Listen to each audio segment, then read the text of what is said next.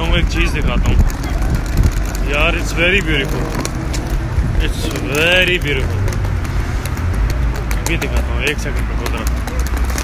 एक सेकंड ना हम्म, ये my God what a building what a building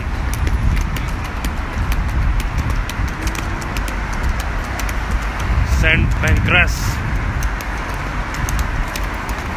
है ना वो कहाँ रह गया। यार ये